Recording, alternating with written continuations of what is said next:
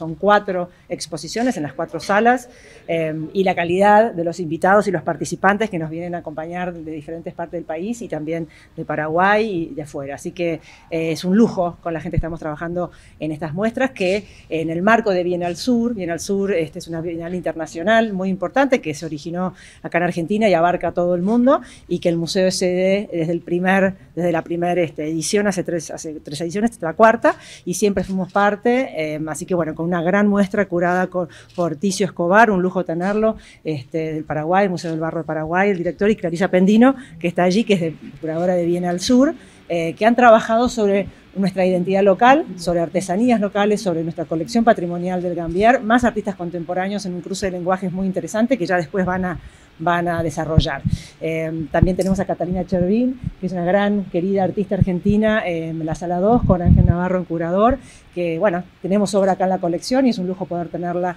en la exposición con, con nosotros. Y en la sala 3, este, con la curaduría de Alberto Sánchez, una continuidad de una muestra que fue hace unos años, los síntomas del arte de San Juan, que tiene que ver con la escena del arte local. Y en el foyer, una muestra que es el proyecto, el, el resultado del proyecto de, de, unos, de una eh, convocatoria que hizo de, proyectos de Ace City, que también tiene este, su diversidad y curada por Mariela Limeruti. Así que bueno, la verdad que es una calidad de muestras muy interesantes que van a seguir hasta fin de año, hasta diciembre. Los invitamos todos esta noche con música y sobre todo encontrándonos en estos espacios que son muy lindos para dialogar e interactuar. Está inaugurándose la muestra Síntomas del Arte en San Juan, que tiene que ver con un proyecto de larga data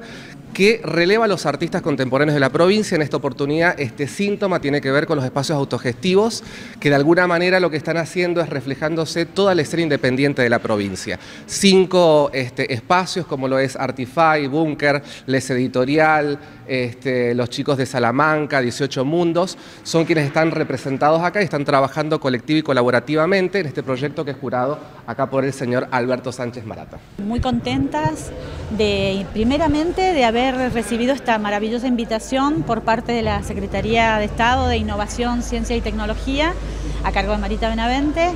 muy gentilmente nos invitó a, al Instituto de Expresión Visual a colaborar y por supuesto a coactuar en la materialización, primero en la formulación de este maravilloso proyecto